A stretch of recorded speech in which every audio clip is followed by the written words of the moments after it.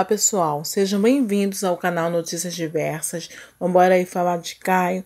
Caio que tirou aí a tarde para responder algumas perguntas. Vamos acompanhar? Mas não é tudo. Acho que vocês têm que sentar, conversar, identificar o que que levou vocês a terminarem e serem bem sinceros um com o outro. O momento é de sinceridade.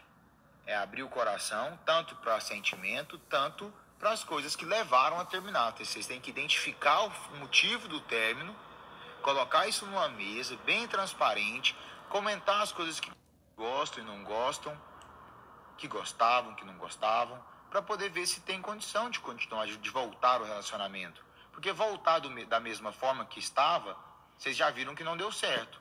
Então tem que ter mudanças. E essas mudanças vai partir da sinceridade de vocês dois para determinar os erros e também as mudanças. Aí sim, eu acho que justifica a volta. Não, eu não acredito que o problema seja você. Acredito que talvez a pessoa certa não tenha chegado ainda.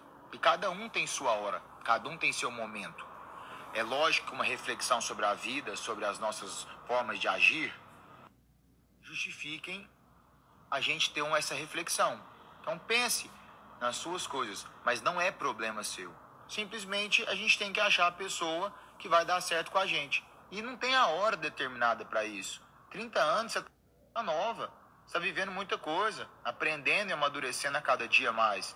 Deus está preparando uma pessoa para você. A hora vai chegar, você vai viver coisas maravilhosas. Então não desespera, não fique achando que o problema é com você. E aí, pessoal, o Caio tem um jeito todo especial para responder as perguntas, né? Para assim, tipo, não magoar ninguém, fala assim as coisas na hora certa. Eu gosto desse jeito do Caio. E você gosta também? Deixa aí nos comentários. Eu quero pedir a você que ainda não é inscrito aqui no canal Notícias Diversas, se inscreva, deixa o seu like, ativa o sininho para toda vez que eu postar vídeos novos vocês estarem recebendo. Um forte abraço a todos e até o próximo vídeo.